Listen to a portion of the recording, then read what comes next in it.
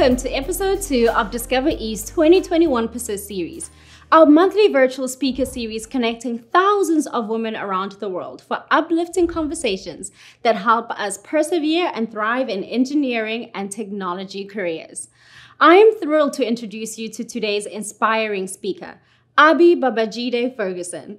Abi is a business performance lead for Shell Deepwater in the male dominated profession of oil and gas. She's worked in both technical and managerial roles, both in the US and abroad, and is committed to helping women look outside the box to find fulfillment and flexibility in their career progression.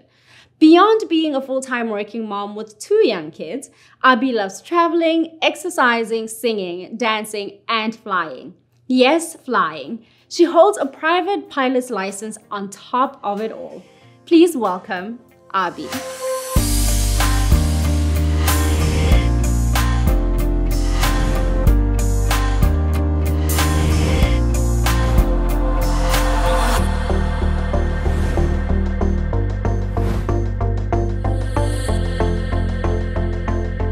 I'm Abi Babajide Ferguson. I am a mom I am a wife, I am an engineer, and I consider myself also um, a global citizen.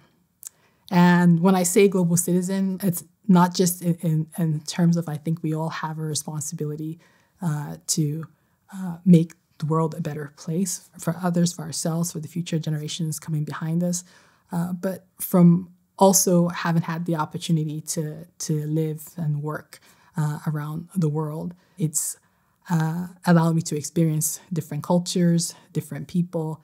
I also met my husband in an overseas assignment, you know, where, and now I have a four year old and a two year old who, who keep me very busy during this time, uh, especially during COVID times. So when I was asked to speak to how we get women in engineering to persevere in the workplace, um, to be honest, it was I was excited. It was a great opportunity, but I was also a bit intimidated. You know, I, I thought to myself, you know, do I have it all figured out? you know, do I have? Uh, and I'm being asked to speak to to other women in, in this area, and the answer is no. I don't have it all figured out, but maybe it's. Let me inject my first piece of advice here. Then, women in engineering, we have something to offer. Your experience, there's something you can teach someone else or share with someone else, someone else that would be beneficial. So the first thing I had to do was uh, make sure to, to tell myself, yes, I don't have it all figured out, but I hope that I can share my experiences, the things I think, uh, the steps I've made in my career that I think have worked well, and the many mistakes I think I've made uh, and learned from. And I hope when you hear me say mistakes, you don't think, uh, I mean, regrets there because I've actually learned a lot from my mistakes. They're some of the most valuable experiences I, have had and takeaways I've had in my career, having from some of the mistakes I've made. It's taught me a lot about myself, um, about others, and how I would maybe do some things differently um, in the future. So, so maybe another piece of advice there: don't be afraid to make mistakes be okay with being uncomfortable, right? You know, so push yourself to to get out of your comfort zone because I think it's in that that we grow, you know, that we thrive. Um, and, and, that has been the experience for me. Uh, and so I encourage others to take that leap of faith and, and take that step out there. Professionally, I uh, currently work as a business uh, performance improvement lead at Shell. And that role actually gives me uh, an opportunity to have more insight into the different parts of our businesses in deep water. And how do we improve right? Looking at both external benchmarks and internal benchmarks you know across the, the Shell organization. As you know we're in, in many countries around the world. I think it's exciting to be looking at ways that i can help our business to be more competitive right whether it's remove uh, waste, be more value for our shareholders, how we tackle the energy transition. Prior to that, I've had a variety of technical and leadership roles in the company. Uh, so when I started as an graduating as an engineer, as a chemical engineer, actually, um, I started in a technical role in Shell. I came in as a chemical engineer, and shortly after, I moved into uh, the discipline of production technology uh, role. Uh, some in the industry know it as production engineering. about 10 years into that role, um, I decided to pivot. I wanted to broaden my experience base a bit um, because I, I, felt it would learn about other parts of the company, uh, how things work. Um, I thought would make me a better engineer and overall a, a more accomplished professional. And so when I did broaden, I moved from an engineering role into an HR role, which you could say are, are two ends of a spectrum, very technical to not too technical. I think what I brought into that role with my technical background was I understood maybe a bit more about what those projects were about, what kind of disciplines we needed in the in the project from the production engineering standpoint, uh, and so I was better able to help with deploying staff to the right place. Um, that was also right for their development and right for the project that we were working on. So, so that was exciting. Following that, I moved into a role in learning. Again, uh, a bit of a, another broadening assignment.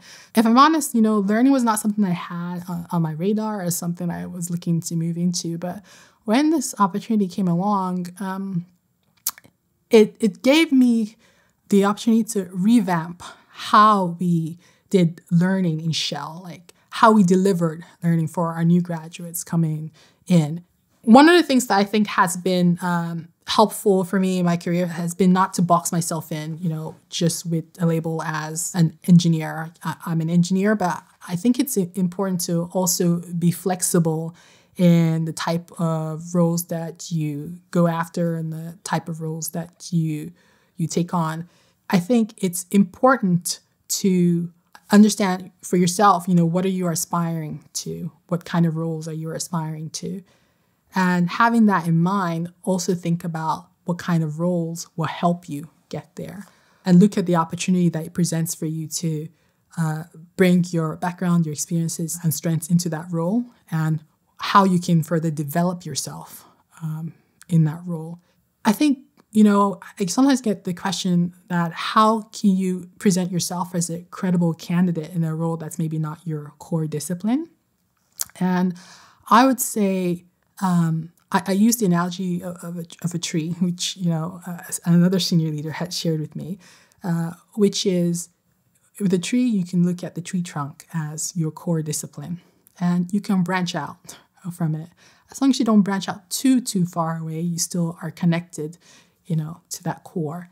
And that core, it can be your support system, it can be the the knowledge and experiences you draw on that helps you into in whatever you branch out um, into. So in my experience, uh, using the global skill pool manager role, um, while functionally sat in HR, um, we were looking at deployment of technical staff. And my experience having worked in production engineering helped me to really have a better understanding of what kind of projects we are working on and you know what's the right type of discipline to uh, that we need in, in, in, that respect and the right staff to deploy there uh, that was also beneficial for the project but also beneficial for that staff uh, development. It's helpful to broaden take a chance get don't box yourself in um, challenge yourself and um, and that can be really helpful career wise it's important to have strong delivery but networking is also important it's also about building relationships, right? So with the people you're working with, you're building a relationship there, but it's also about expanding that circle. A piece of advice from a senior leader that kind of stuck with me and it resonated for me. Um, he said, um, networking is like a bank, right? Over time, you want to invest in doing that and you build up currency in that bank so that when you need to go withdraw from the bank, you have currency built up in there that you can withdraw from. So if you have nothing built up and you haven't invested any time in building those relationships or any time in getting to know uh, people in other parts of the organization, putting yourself out there to be more visible as well, then when you need to to draw from on those, on those relationships and it's maybe a little bit too late at, at the end of the day to to want to pull something out of it that you haven't invested anything into. Start building those relationships now, start networking now, because overall it's a great thing to do just if, if it's even just to build a, a relationship and understand um, how another part of the business works. Another thing that I've learned is focus on your strengths. Many times, I, I think uh, we look at what we're naturally good at and we say, okay, I'm naturally good at this. So I need to focus on the areas that I'm not so great and, and really work on those. But I wish I had learned this much earlier in my career. I think it's important to put your energy into focusing on your strengths and get really good at what you're good at. Because I think that's how you make um, the biggest contributions and and delivery in, in, in whichever role that you're in. And I think that's sometimes the, the mistake that we make. Don't be afraid to speak up and be direct, even. And I know it's not comfortable for everyone. A lot of people say, that's not my personality, that's not me. And, and, that's fine. Again, I say, find a style that you're comfortable with. When men do it, it comes across as being confident. And sometimes when, when women do that, you know, I'll say they come across as being maybe bossy would be the, the nice word I'll, I'll use um, that uh, folks might perceive it in that way. But I think when we instead try to soften the blow or, or uh, being direct with what we're trying to say, it can sometimes come across as uh, a lack of confidence or competence. You know, so uh, from that angle, I say, you know, it, it's important, you know, to to be able to get your message across clearly and to be and to be direct. I also think it's important for each person to know themselves, right? You know, to know what makes you tick, know what you're naturally good at, and what maybe you're not so great at. When we talk about success, success doesn't look the same for, for every one of us, right? So we might be all women in engineering, but we are also wonderfully unique, right? We're different. What the experiences we have, who we work with, what jobs we've had, all shape part of the uh, unique person, unique person that, that we are. One of the challenges I think uh, many women in the workplace have is oftentimes we're juggling um, childcare and you know and working. I think many times the home care responsibilities end up falling on our shoulders. It's not the case for everyone, but but many times uh, that's what we see with women working in um, in the workplace. My way of coping with that is by planning and being really organized.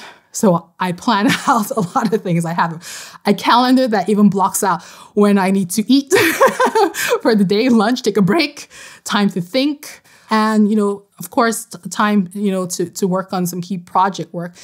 And you know, in COVID times like this, uh, it, it, sometimes that's late at night for me, right? You know, once the kids are in bed that may not fit your schedule, but figure out what fits your schedule. I, I, think that's important to do. Lean on your support system. Don't be afraid to do that, whether it's family and friends or even paid help, you know, to for a babysitter to watch the kids sometimes. Uh, uh, not just so you can work, but just so you can have a break to think, um, to some downtime. And I also have a very supportive husband who we, we have a dual career you know, a situation. He's working, I'm working. And, you know, we, when we look at the assignments we take, it's also keeping in mind as to what fits also for our family situation and, you know, how can we organize ourselves and um, what support do we, may we need to bring in to help us to, to, to do what we, we, we want to do and what we want to pursue also career-wise.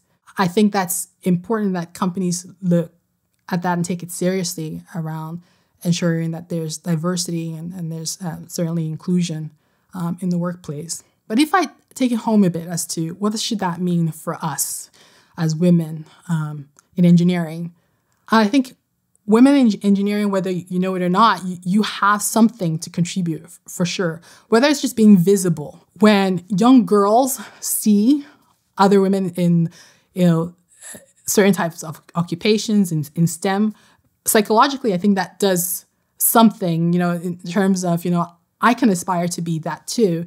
When you see some occupations that are really male dominated and, and you see uh, just a male figure visible for for that specific profession. Sometimes it, it, feels like watching a movie, right? You're a bit removed from it. You can see you, you see it done, but you don't have maybe a personal connection to that. But I, I think um, girls in in in high school and middle school, even just seeing women in those professions um, starts to create that sense of, you know, I can be that too. I can achieve that too. So I think we have a role to play in that to to be visible and to to help those coming you know behind us uh, to to prepare right uh, a workplace that will also be more inclusive um, for them. Another I would say is finding a mentor. And this is why, again, it's important to have women also in senior roles because they've also gone through probably what what you're going through and you know and have learned from their experiences there. But you know someone you can comfortably share with you know what you're dealing with and you know any advice that they they might have to offer there. But i think it's also someone to support you as you make those changes and, and help have your back so to speak right? A way to to navigate that practice and those changes that may not come naturally to you but also find a support system in the workplace you know find a mentor that you know you can you can go to and, and speak to that can, can also back you up. And so so maybe I, i'm using two phrases there. There's a mentor and there's a sponsor and i would say find both. You know a mentor you know i think can can be someone you go to and speak to to um, also share a situation that you're going with and get advice from them. But a sponsor will also, I think, be able to put you up potentially, you know, for potential roles that may be coming up that may be beneficial for you. At the table where they're discussing, you know, who might be a great candidate for this, they may be someone that can speak to what they know about you and your accomplishments and to help make sure you get that opportunity potentially or um, or a candidate that's considered for it. Uh, and I think this is where sponsorship can also be uh, quite helpful. For me, Imagine Tomorrow is about how we encourage more women and more girls in school to take up careers in STEM. It's about how we pave a way for them to, to also see careers in STEM as exciting and something achievable for them. It's about how we make them feel welcome at the table when they come to the workplace, how we make sure they're included, how we make sure they feel heard. Imagine Tomorrow is about hopefully not fighting some of the battles that I know, you know, women who've come before me have fought to to make a place at the table for uh, for other women. So when I imagine tomorrow, that's that's what I, I, I think about. I think of women leading engineering companies, women leading technical companies. Uh, I see more women, you know, in senior management positions. That's what I think of when I think about Imagine Tomorrow.